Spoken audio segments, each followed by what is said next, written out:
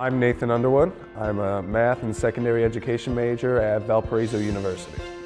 Hi, I'm Rachel Rocky and I'm a freshman here at Valpo. I think what's unique about the MSEED program is that we get so many more opportunities.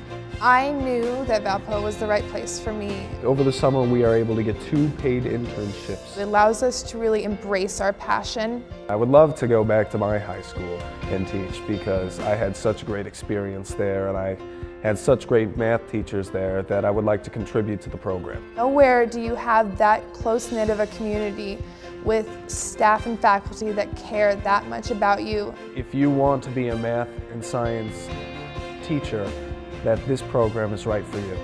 I would not have these opportunities anywhere else.